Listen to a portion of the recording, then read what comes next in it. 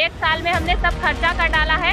यहाँ तक कि हमें बच्चों बच्चों का पैसा भी खर्चा करना पड़ रहा है। या तो माननीय मुख्यमंत्री जी हमारा वेतन हमको दे दे, या तो इच्छा मृत्यु दे दे।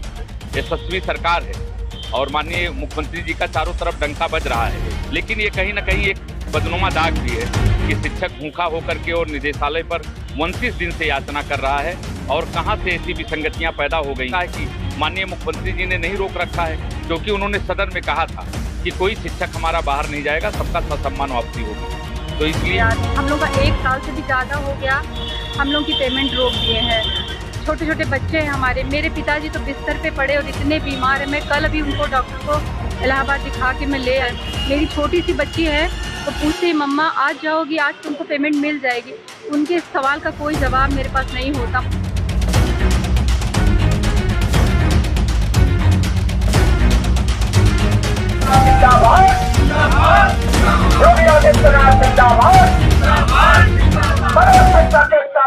उत्तर प्रदेश में माध्यमिक कदर शिक्षकों का वेतन लगभग 12 माह से नहीं मिल रहा है। इसको लेकर वो आंदोलनरत हैं और लखनऊ में माध्यमिक शिक्षा विभाग के सामने धरना दे रहे हैं। धरने का आज उनतीसवां दिन है और इसी के साथ साथ यहाँ उपवास भी चल रहा है, जिसका आज पंद्रवा दिन है। आपको हम चित्र में दिखाना चाहेंगे कि यहाँ एक हनुमान जी की एक प्रतिमा लगाई गई है। उसकी रोज पूजा अर्चना की जाती है। उसके बगल में ही उत्तर प्रदेश के मुख्यमंत्री योगी आदित्यनाथ का भी चित्र लगा हुआ है जिस पर भी पुष्प आदि अर्पित किए जाते हैं। आपको बता दें कि इस धरने में रोज़ाना हनुमान जी की आरती सुबह और शाम और सुंदरकांड का पाठ आदि सभी तरह के धार्मिक कार्य भी किए जाते हैं। माध्यमिक सदर शिक्षक काफ़ी संख्या में यहाँ अलग अलग जिलों से आकर इकट्ठा होते हैं और रोज़ धरना देते हैं। धरने का आज उनतीसवां दिन है, उनतीस दिन हो चुके हैं। पंद्रह दिन से ये उपवास भी कर रहे हैं, लेकिन अभी तक कोई आश्वासन सरकार की तरफ़ से नहीं मिला है। ये माध्यमिक सदर शिक्षक संघर्ष समिति के द्वारा ये आंदोलन चलाया जा रहा है। इस पर बात करने के लिए हमारे साथ माध्यमिक सदर शिक्षक संघर्ष समिति के संयोजक राजमणि सिंह हमारे साथ हैं। उनसे बात करते हैं और सदर शिक्षकों की समस्या तथा उनके समाधान के लिए क्या सोच रहे हैं, ये जानते हैं। सर, उनतीसवां दिन है आज याचना कार्यक्रम का। क्या आगे की रणनीति बन रही है और क्या अभी तक सोचा है आप लोगों ने? अब हम लोग इंतज़ार कर रहे हैं, कुछ हल्का फुल्का हम लोगों को रिलीफ मिला है। वेतन देने की बात इन्होंने की है। सेवा सुरक्षा के लिए षड्यंत्र रचा जा रहा है। इसी संबंध में हम लोग अभी समय दिए हैं। कोई आगे की रणनीति अभी स्पष्ट रूप से घोषित नहीं कर पाए हैं। लेकिन हम ये जानते हैं कि सबसे बड़ी मांग आपको बड़े बड़े मोटे अक्षरों में हमारे बैनर पे लिखा होगा। कि हम एक सूत्रीय मांग के लिए यहाँ आए थे। हमारा जो अकारण अवरुद्ध वेतन है, उसको निर्गत कराने के लिए। वेतन इन्होंने निर्गत करने का हमको आश्वासन पूरा दे दिया है। लेकिन इन्होंने कहा, माननीय मुख्यमंत्री जी का कहना है कि वन टाइम सेटलमेंट हो जाए, आपकी सेवा सुरक्षा के बारे में भी कोई, न कोई स्पष्ट निर्धारण हो जाए।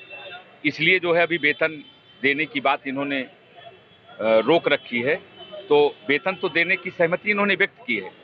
लेकिन वो जो सेवा सुरक्षा ये देना चाहते हैं, उस, वो सेवा सुरक्षा हमको मंजूर नहीं। नंबर एक हम ये चाहते हैं कि हमारा धारा छा जा के अंतर्गत अमेंडमेंट ला करके हमको विनियमित कर दे। या तो इसके पहले विषय विशेषज्ञ टीचर नियुक्त हुए थे माध्यमिक विद्यालयों में, उनको आमेलित किया गया, उसी प्रकार हमको आमेलन कर दिया जाए। तीसरी सबसे महत्वपूर्ण बात है, अगर इनको और भी, आज सुबह मेरी डायरेक्टर से बात भी हुई थी, उनका टेलीफोन भी आया था। और उन्होंने फिर हमसे पूछा, हमने कहा, लिखित रूप पे उस दिन एसीएस साहब को मैंने दे दिया है। और उन्होंने कहा कि, आप चाहते क्या है? तो मैंने उनको यही बात बताया कि हम चाहते हैं कि हमारा विनंतीकरण हो जाए, नंबर दो, हमारा आमेलन हो जाए, नंबर तीन, जिस प्रकार से हम सेवारत हैं, उसी तरीके से हमको सेवा करने दिया जाए और जो निर्धारित आयु होती है रिटायरमेंट की, तब तक के लिए हम लोग सेवारत रहें और जब वेतन मिलेगा तो पूरे मन, पूरे मनोयोग से अपने विद्यालयों में हम जा करके अध्यापन का कार्य करेंगे। और तब मन भी लगेगा और अपने बच्चों का मैं भविष्य सुधारने का प्रयास करूँगा, क्योंकि अब हम लोगों को भी तकलीफ़ होती है जब विद्यालय से बच्चों का फ़ोन आता है कि, सर, अभी तक आप आए नहीं जब हम लोग बताते हैं कि वेतन के लिए याचना कर रहे हैं। तो उन लोगों ने हौसला बढ़ाया है कि, नहीं, आप पहले वेतन पा लीजिए। हम लोग किसी तरीके से तब तक आपका इंतज़ार करेंगे। तो अब देर काफ़ी हो रही है। ये उम्मीदें नहीं थी, क्योंकि बड़ी यशस्वी सरकार है और माननीय मुख्यमंत्री जी का चारों तरफ़ डंका बज रहा है। लेकिन ये कहीं ना कहीं एक बदनुमा दाग भी है कि शिक्षक भूखा होकर के और निदेशालय पर उनतीस दिन से याचना कर रहा है और कहाँ से ऐसी विसंगतियाँ पैदा हो गई हैं। माननीय मुख्यमंत्री की तरफ़ से या कि अधिकारियों की तरफ़ से, अधिकारी तो कहते हैं माननीय मुख्यमंत्री जी ने रोक रखा है, लेकिन मुख्यमंत्री जी जब सदन का उनका वक्तव्य सुनते हैं तो हमें लगता है कि माननीय मुख्यमंत्री जी ने नहीं रोक रखा है, क्योंकि उन्होंने सदन में कहा था कि कोई शिक्षक हमारा बाहर नहीं जाएगा सबका ससम्मान वापसी होगी। तो इसलिए अभी हम वेट कर रहे हैं सी एंड वाच। लगातार आपका प्रतिनिधिमंडल अलग अलग अधिकारियों से और भाजपा के नेताओं से मिल रहा है। आज भी कुछ अधिकारियों से मुलाकात हुई है आपकी? आज मैं अब वो तो अनऑफिशियल है उसको मैं नहीं बताऊँगा। क्या क्या आश्वासन मिला उस अधिकारी के द्वारा आपको? आश्वासन नहीं मिला लेकिन वो मुख्यमंत्री के बहुत करीबी हैं और वरिष्ठ अधिकारी हैं। तो अभी हमारी उनके हमारे उनके व्यक्तिगत ताल्लुकात हैं ऐसी मैं कोई बात नहीं करूँगा उनके बारे में। जब कोई बात होगी तो मैं साझा कर दूँगा। तो क्या लगता है वेतन निर्गत करने की बात हो चुकी है? क्या लगता है कब तक आपकी समस्याओं का समाधान हो पाएगा? वेतन निर्गत कर दें हम तो कहे एसीएस साहब से भी कहा डायरेक्टर साहब से कहा हमारी एक सूत्रीय मांग है आप वेतन निर्धारित हमारा निर्गत कर दीजिए। आप जो भी मसौदा तय करेंगे हमारे लायक होगा, हमारा सम्मानजनक होगा तो हम मंजूर कर लेंगे, नहीं तो फिर आगे देखा जाएगा, उसकी रणनीति बनाई जाएगी। आज संभवता हो सकता है, वार्ता हो, जैसा कि उम्मीद है धन्यवाद। के लिए हमारे साथ शिक्षक नेता प्रभात कुमार त्रिपाठी जी हैं, उनसे बात करेंगे और जानेंगे क्या चल रहा है इस समय। सर, ये बताइए कि तदर शिक्षकों का वेतन लगभग 12 महीने हो चुके हैं, नहीं मिल पा रहा है। तो क्या लगता है कैसे आगे इनका काम चलेगा? देखिए, हमारे याचना कार्यक्रम का आज उनतीसवां दिन है और हम लगातार चौदह दिन से उपवास पर भी बैठे हैं। बाईस, तेईस वर्षों से अनवरत राजकोष से हमारे सारे शिक्षक वेतन प्राप्त कर रहे थे। विगत बारह महीनों से अकारण बिना किसी आदेश के वेतन प्रभावित किया गया है। अधिकारियों से वार्ता बराबर चल रही है। उस वार्ता के क्रम में अधिकारियों ने वेतन देने की बातें तो कही हैं, लेकिन अभी उन्होंने पूरा आकर के यहाँ आश्वस्त नहीं किया है, इसलिए याचना का कार्यक्रम हमारा बराबर चल रहा है। दूसरी जो सबसे बड़ी बात यह है कि हमारी संगठन की जो मांग है इस याचना कार्यक्रम के तहत, या तो हमारे सभी साथियों का अमेलन किया जाए, या तो समायोजन किया जाए, या तो विनम्तीकरण किया जाए या हम जैसे हैं एज इट इज़ हमको ऐसे ही बनाए रखा जाए। यह हमारे संगठन की मांग भी, भी है कि हमको एज इट इज़ भी रखा जाए तभी हमको स्वीकार है। लेकिन हमारा वेतन और हमारा अमेलन या विनम्तीकरण जो प्रमुख मांग है हमारी ये हम हमको हर हाल में दी जाए। और हम तब तक यहाँ से नहीं जाएँगे जब तक हमारी मांगे पूरी नहीं है। सर बारह महीने का समय बहुत लंबा समय होता है। यदि किसी को वेतन बारह महीने से नहीं मिल रहा है तो कैसी आर्थिक स्थिति होगी इनके घर की? देखिए सर, इसमें हम आपके चैनल को धन्यवाद भी इसके लिए ज्ञापित करना चाहते हैं। ये माननीय मुख्यमंत्री जी को, ये जो हमारे बड़े अधिकारी सब बैठे हुए हैं, इन लोगों ने जा करके दिग्भ्रमित किया है। जबकि माननीय मुख्यमंत्री जी ने सदन में आश्वासन दिया था माननीय विधायकों के, एमएलसीओ के कहने पर कि सरकार इसको लेकर के गंभीर है। हम इसके लिए बहुत जल्द एक कमेटी का गठन करते हैं और इसके साथ साथ उन्होंने कहा बहुत जल्द हम इनको राहत देने का काम करेंगे। अभी प्रदेश अध्यक्ष, भाजपा के प्रदेश अध्यक्ष माननीय भूपेंद्र चौधरी जी हैं। उन्होंने पत्र जारी किया, जाकर के धर्मपाल सैनी सर और भूपेन्द्र चौधरी जी मिले। माननीय उमेश द्विवेदी जी, श्रीचंद शर्मा जी, कई एमएलसी हमारे बीच में आए भी। माननीय उमेश द्विवेदी जी आ चुके, बाबूलाल तिवारी जी आ चुके, जो आकर के यहाँ आश्वासन दिए हैं। मुझे पूरा विश्वास है कि जिस दिन माननीय जी के पास हमारी पूरी सच्चाई, पूरी बात पहुंचेगी, उस दिन हमको सफलता अवश्य मिल जाएगी। धन्यवाद। आपको एक विशेष चीज़ बताते हैं। अभी कुछ दिन पहले एक फ़ोटो वायरल हो रहा था, जिसमें एक सदर शिक्षक, भाजपा के एक बड़े नेता के सामने उनके चरणों में पड़े हुए थे। लेकिन फिर भी कोई उसका भी कोई रिज़ल्ट नहीं निकला। वो राजेश पांडे जी थे। इस समय मौजूद हैं, उनसे बात करेंगे और जानते हैं क्या था। सर, उस दिन की स्थिति क्या थी? आपका वो फ़ोटो काफ़ी तेज़ी से वायरल हुआ था। हम अपने वेतन सहित समस्त सदस्य शिक्षकों के वेतन के लिए हम गए थे, माननीय स्वतंत्र देव जी के पास। अब हमारी परिस्थितियाँ थी कि पहले हम वैसे ही खड़े खड़े बात करना चाहते थे, जैसे वो निकले। लेकिन अब वो नहीं बोले तो हम घुटनों पर बैठ गए। अपना निवेदन करने के लिए।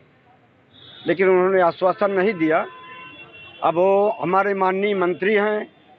सरकार में कैबिनेट मंत्री थे, उसमें प्रदेश अध्यक्ष भी थे भाजपा के, और नेता विधान परिषद भी थे।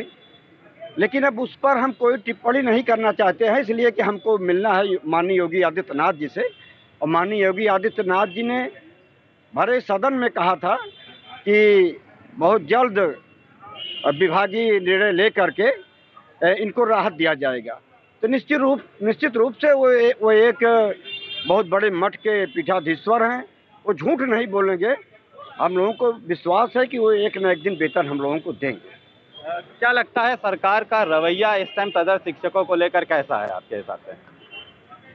अब हम तो उम्मीद कर रहे हैं कि माननीय योगी आदित्यनाथ जी एक न एक दिन हम लोगों के वेतन के लिए बहुत जल्द निर्णय लेंगे। और ये तो जो हम लोगों का लेट हो रहा है, ये अधिकारियों की वजह से लेट हो रहा है। कोर्ट कोर्ट के आदेश में, तिरासी सौ के आदेश में कहीं भी नहीं लिखा है कि इनका वेतन रोक दिया जाए और इनको बाहर किया जाए। लेकिन अब अधिकारियों ने माननीय मुख्यमंत्री जी को भ्रमित किया है, वो एक न एक दिन इस बात को समझेंगे और आप ये भी मीडिया के माध्यम से, अपने चैनल के माध्यम से अवगत हो लें कि हम लोगों का वेतन मौखिक आदेश पर रुका है। मई 2022 में प्रमुख सचिव माननीय आराधना शुक्ला जी ने सभी जनपदों के जिला विद्यालय निरीक्षकों की एक बैठक बुलाया और मौखिक आदेश पर वेतन रोका गया। तो कहीं कोई ऐसी बात होती स्ट्रिक्टली कोर्ट से तो हम लोगों को लिखित आदेश होता वेतन के लिए। लेकिन ऐसा नहीं हुआ। तो अब अधिकारियों ने परेशान किया है लेकिन अ, हम लोगों ने सम्मानित श्री राजमणि सिंह जी के संयोजन में एक याचना कार्यक्रम कर रहे हैं शांतिपूर्वक। और अभी एक प्रतिनिधिमंडल अधिकारियों से मिलने भी गया था। और बहुत जल्द हम उम्मीद करते हैं कि माननीय यशस्वी मुख्यमंत्री जी हम लोगों की बात सुनेंगे और वेतन के लिए निर्णय लेंगे। और हम लोग आने वाले लोकसभा चुनाव में उनका साथ भी देंगे।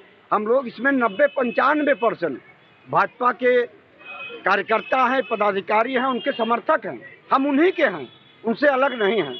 और ये माननीय यशस्वी मुख्यमंत्री जी को इस बात की जानकारी भी हो गई है, इसलिए हम बहुत जल्द निर्णय लेंगे। हमको पूरी उम्मीद है कि अधिकारियों के बहकावे में वो नहीं आएँगे।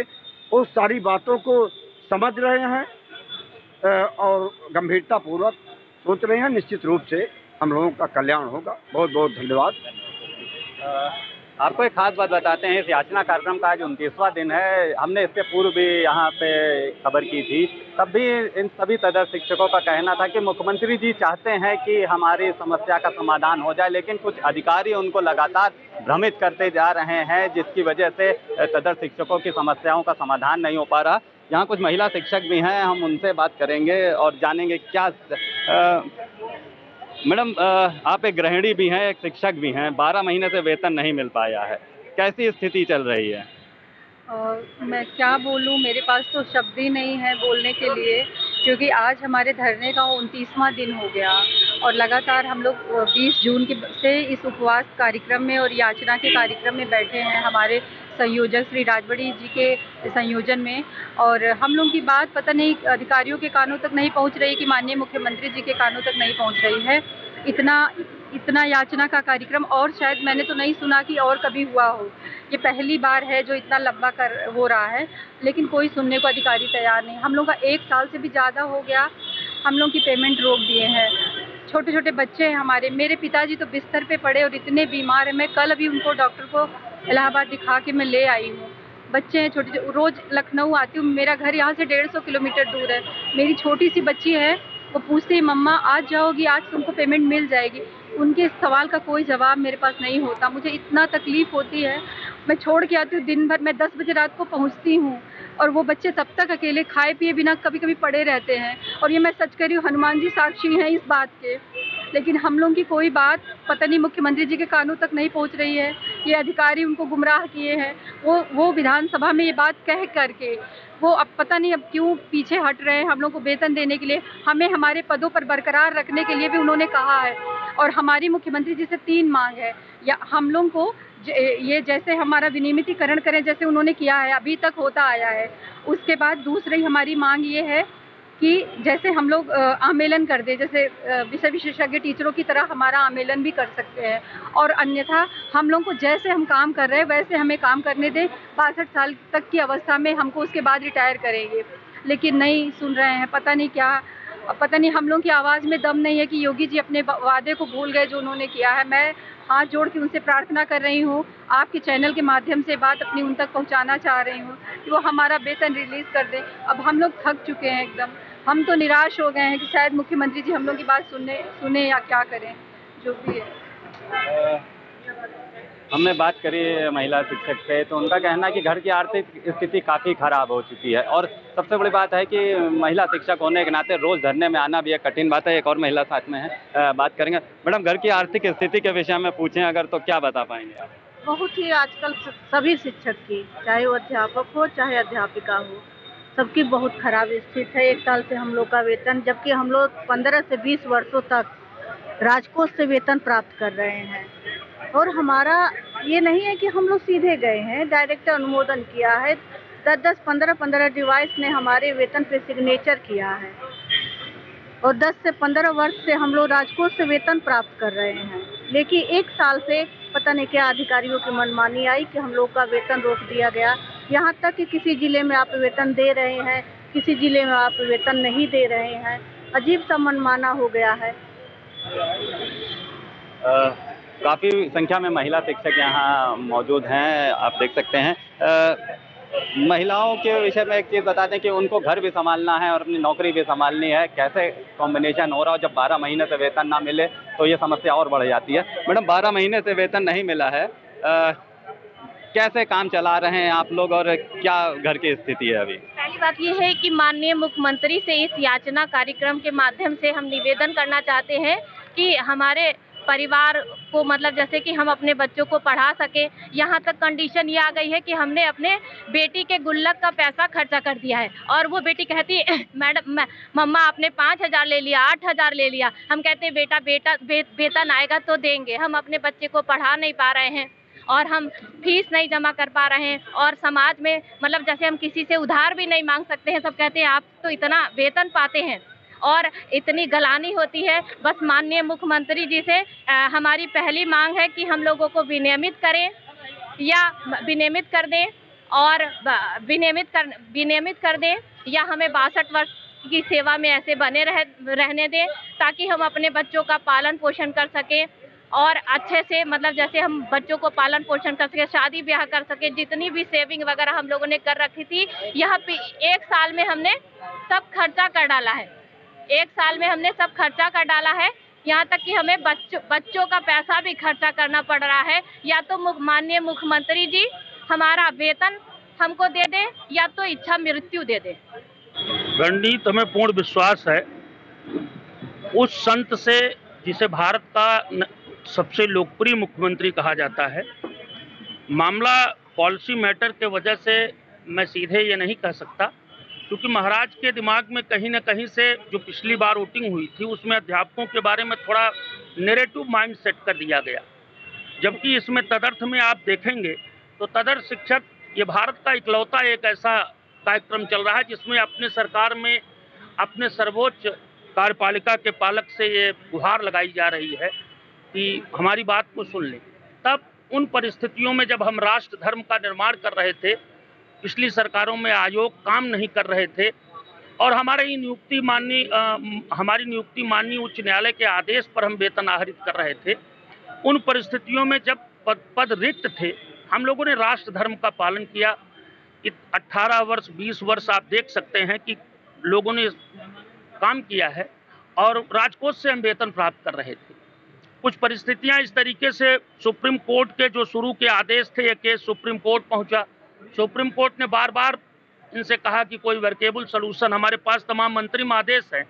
आप लोकतंत्र के चौथे पहिए हो और हमारी बात को निसंदेह सरकार के पास हमारी पहुंच- पहुंचाइएगा। किसी भी कोर्ट के आदेश में भारत में 142 का प्रयोग 142 का प्रयोग सीधे याची को लाभ देने के लिए किया जाता है। और तमाम अपने अंतरिम आदेश से लेकर अंतिम आदेश तक, अंतिम आदेश तक कोर्ट की पूरी मंशा थी कि किन्हीं न किन्हीं तरीके से इनको समायोजित किया जाए। सारे बातों के क्रम में मैं महत्वपूर्ण बात जो कहना चाहता हूँ कि हमारे सरकार के पास ये बात पहुंचाइएगा। कानूनों का निर्माण, इसके पहले जब भी प्रबंध तंत्र नियुक्तियाँ की रेगुलाइजेशन हुआ, इन्हीं सरकारों ने किया है। वो परिवार जो 20 वर्षों से पढ़ा रहा है, जो शिक्षक, उसके लिए कानून ऑर्डिनेंस लाना ये सरकार की, सरकार का काम है। एक ऑर्डिनेंस ला करके अभी कल ही सर्वोच्च न्यायालय ने सीधे कहा, अपने फैसले के दौरान अभी फैसला आया नहीं लिखित रूप से, जो कोर्ट के बहस के दौरान हमारे पास वीडियो भी है। इन्होंने सरकार को पूरा स्वतंत्र रखा है इनके लिए कानून तैंतीस जी बना करके सबको समायोजित किया जा सकता है। अध्यापक रो रहा है, सड़कों पर भीख मांग रहा है, उसके परिवार, बीवी, बच्चे किन परिस्थितियों में हैं? तो कानून तो सरकार का दायित्व है। और हम अपने कार्यक्रम को महाराज तक अपनी गुहार यही लगा रहे हैं कि बड़ी इच्छा शक्ति रखें, बड़ा दिल रखें, जिससे हमारे लिए फैसले करें, जिससे अध्यापक जा करके अपने शिक्षण कार्य को मनोयोग से करे, उसका परिवार सुखी मन से रहे। यही हम माननीय महाराज जी से यही मेरी कामना है। थैंक यू तो हम इस समय थे माध्यमिक पदक शिक्षक संघर्ष समिति द्वारा चलाए जा रहे याचना कार्यक्रम में। यहाँ इस याचना कार्यक्रम का ये उनतीसवां दिन है। पंद्रह दिन उपवास को भी हो चुके हैं, लेकिन ना तो अधिकारी, ना ही सरकार द्वारा इनकी बात सुनी जा रही है। सदर शिक्षकों से जब हमने उनकी आर्थिक स्थिति पर बात करी तो सभी का कहना है कि हमारी आर्थिक स्थिति बारह महीने से ऊपर हो गए हैं, वेतन नहीं मिला है। काफ़ी ख़राब आर्थिक स्थिति है। घर में बच्चों तक से हमने पैसा ले लिया। बच्चों की फ़ीस नहीं जमा करा पा रहे हैं। दवाइयों का खर्चा नहीं कर पा रहे हैं। स्थिति अत्यंत दयनीय है और सरकार को इस पर ज़रूर ध्यान देना चाहिए और हमारी मांगों को ज़रूर पूरा करना चाहिए। वीडियो जर्नलिस्ट अखिलेश सिंह के साथ संतोष कुमार, भूमि टीवी, लखनऊ।